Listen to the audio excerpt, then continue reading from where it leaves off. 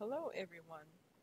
Today I'm going to be presenting a video on how to divide decimals using base 10 blocks. In this video we will review base 10 blocks and we will divide decimal numbers with base 10 blocks. Let's start our review with the base 10 blocks. The first base 10 block is a flat. The flat has a value of 1. The second base 10 block is a rod, and a rod has a value of 1 tenth. The third base 10 block is a cube, and a cube has a value of 1 hundredths. Let's continue our review of base 10 blocks. Here we have some flats, some rods, and some cubes.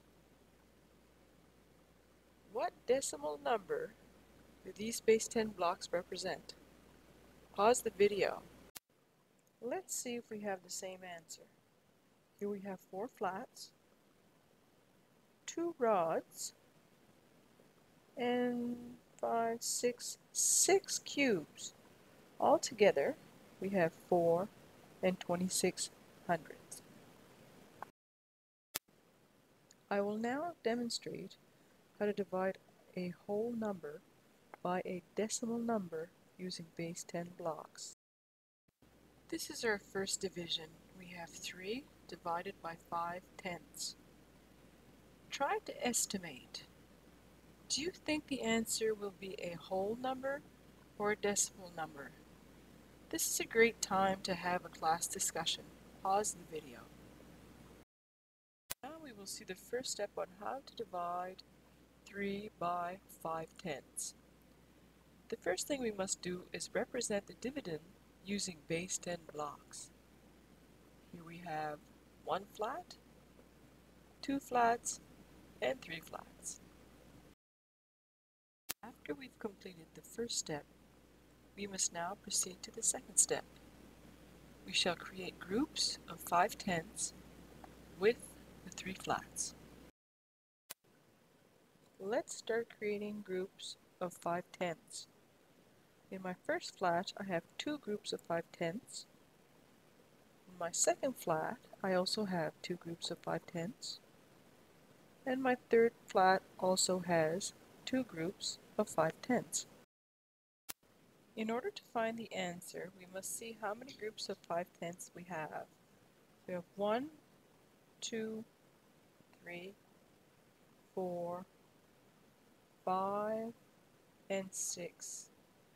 Three divided by five tenths is six. We will now see how to divide a decimal number by a whole number. Before I demonstrate how to divide a decimal number by a whole number, first try to estimate the answer. Do you think the answer will be a whole number or a decimal number? Now that you know how to use base 10 blocks, practice and try to find the answer. In order to find the answer, the first thing we must do is represent the dividend, which is 4 and 2 tenths, with base 10 blocks. So here we have 1, 2, 3, 4, and 2 tenths. Now that we've represented 4 and 2 tenths, we must create three equal groups with 4 and 2 tenths. So we have 1, 2, 3, and here we see that we have a problem. The next step is to create three equal groups with 1 and 2 tenths. Once we've separated 1 and 2 tenths in three equal groups, each group has a value of 4 tenths. Once we've separated 4 and 2 tenths in three equal groups, each group has a value of 1 and 4 tenths. The answer is 1 and 4 tenths. I hope you enjoyed my video. Thank you for watching. Created using Powtoon.